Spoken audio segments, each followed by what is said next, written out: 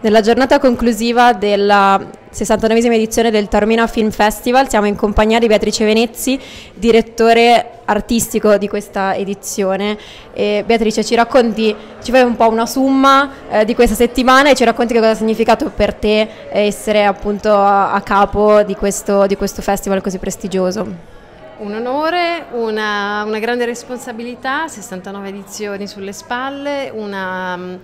comunque un festival da ricostruire eh, rispetto alle edizioni passate, un,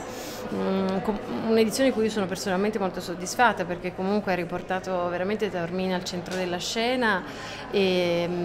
e adesso si apre il resto del, del, nostro festival che è il Taormina Arte Festival per cui in realtà noi siamo soltanto all'inizio. E infatti ci, saranno, ci sono tantissimi eventi in cartellone che ti riguardano ancora più da vicino perché tu sei un direttore d'orchestra e appunto quindi si apre una stagione più teatrale, ci puoi dire qualcosa dei prossimi eventi? Certo, abbiamo tre opere in cartellone cartellone, il primo è il trittico di, di Giacomo Puccini, tre opere in una, appunto Tabarro, Suor Angelica Gianni Schicchi, poi Turandotto che sarà una nostra produzione autoctona proprio di, di Taormina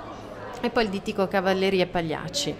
eh, e poi ancora spettacoli di danza, prima Leonora Bagnato, Jacopo Tissi, ancora spettacoli di prosa eh, con Giorgio Pasotti, con Jenny Alexander, eh, con eh, lo spettacolo di Petrillo in prima nazionale eh, dedicato a San Francesco d'Assisi, eh, con Lazzareschi, quindi mh, mm, una stagione veramente ricca e per tutti i pubblici possibili. Quindi possiamo dire davvero che dopo alcuni anni difficili che hanno caratterizzato tutto il mondo dello spettacolo e del teatro, non solo ovviamente eh, questo festival, ci sia stata una ripartenza che si proietta verso il futuro con grande positività. Questo è quello che abbiamo cercato di fare con, con questa edizione che per noi è l'anno zero veramente e abbiamo già la proiezione sul futuro, su quello che, sarà, eh, quello che saranno le prossime edizioni, eh, quello che sarà il futuro di questa fondazione per cui in realtà è tutto un lavoro in divenire insomma. Io sono molto soddisfatta di questo primo anno, di tutti i nomi che hanno accettato di essere sul palcoscenico, su questo palcoscenico straordinario che è Taormina